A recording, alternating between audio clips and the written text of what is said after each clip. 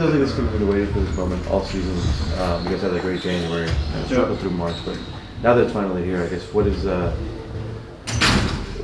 I guess you guys are just super locked in on this. Like, what, what's the overall team vibe right now heading into this series? Uh, super locked in. Uh, like we know it's ahead of us. You know, obviously Dallas is very, very important. Um, they're very skilled. They got two elite scorers and, and playmakers. Um, so we know what's ahead. I think for us, it's just uh, making sure that we're all on the same page, knowing we're trying to um, tackle both ends of the ball, and then going out there executing, just you know, doing what we've been doing all year. So um, I think we're all excited for this opportunity. Kyrie is, is someone you played with, well, not a lot, but you yep. get to play with him. Um, I, I, guess what makes him so unique around, around Luka um, as that kind of secondary scorer that he has? Luka, you know, takes all the, the, the, pressure and the double teams and things like that. So Kai, obviously, he, he demands that same amount of attention. Um, can score with the best of them. I think we all seen it over his career, and he's done it at the highest level. So for us, I think it's just uh, you know creating some really good schemes around both of those two guys to where um, just make it as difficult as possible. Um, they're gonna they're gonna get the attempts up, you know, so they're, they're gonna score basketball, but I think making it as difficult as we can, possession by possession, is is uh, very key for us. James, uh, yesterday Blake announced his retirement. You obviously got a chance to play with him in Brooklyn. Um, and also, you were an opponent against him when he was here for so many years. Just what can you say about him as a teammate and the career that he had? Uh, unbelievable career, man. I think uh, like we were the same same uh, high school class and draft class. You know, so just seeing somebody who I came in, in this league with, you know, retiring after an unbelievable career. First, it just shows how old I'm getting, but uh, you know, just it's gonna have to end someday. And I think Blake was, you know, at the point where he's just like, I don't want to do it anymore, and you know, it's time to, you know, it's time to go post basketball career and see what else this life can give me. So, uh, unbelievable career. Uh, we all know him for his athleticism, um, but he did some really good things off the court as well. So, um, yeah, kudos to him. James, you mentioned that you know when you got here, you wanted to collaborate, uh, especially with your coach especially at this time of the year. Like, how's that process going uh, as you get ready to face the Mavericks? Ready to hoop, man. It's ready to hoop. Like, T. job and the coaching staff job is to come up with the schemes and, and help us on the court. Our job is to go out there and, and make make it happen. So, whatever you know, we go over these, these next few days is the schemes, and that's what we're trying to do and, and accomplish. And I think for us as individuals and as a team, going out there and making it happen.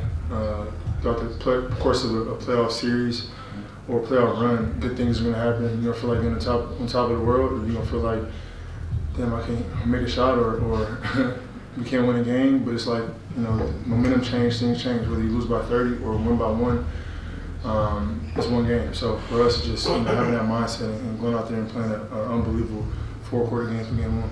A couple weeks ago, there was the whole thing with you guys. Identity was an issue. You guys can find that. And T. T. Lue came out, and, you know, after that losing streak, said you guys were a little soft at the time. Yep. Um, I guess how did you guys respond to that internally, and, and what what clicked to make that change? Um, playoff time.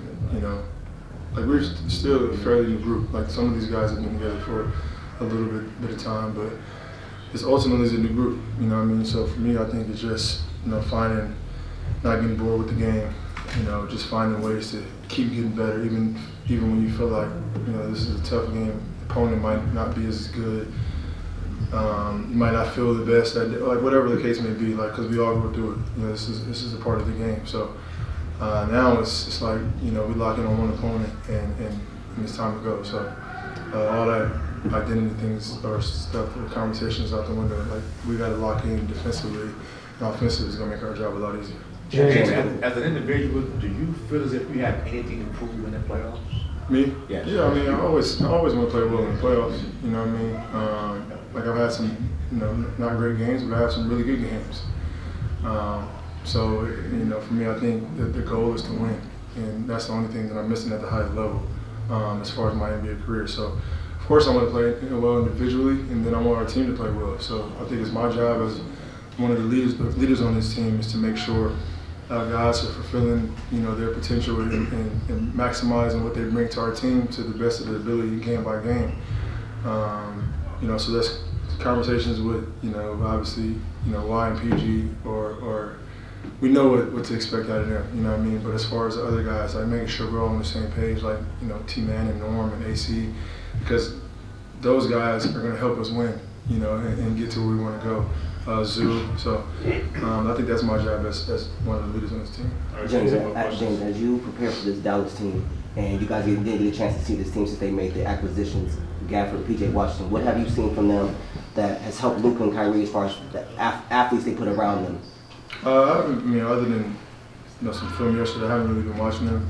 You know, I've been focused on us and things we need to get better at. But like, no matter who they get, it starts with them too. You know what I mean? Then obviously those complementary players like PJ Washington and, and you know Dante Exum is playing well. Um, uh, Tim Hardaway, we all know he can shoot the ball. Um, and then they're, they added a lob target in Gafford. So you know, we all we all know what they expect and what they're trying to do. I think it's for us to just you know making it difficult, possession by possession. James, James, uh, the defense for you guys has been up and down at Yeah. times throughout the year. Where do you think the defense is at now as you guys head into the playoffs? What do you mean? Over the last couple games, you guys. We haven't played in the last one year.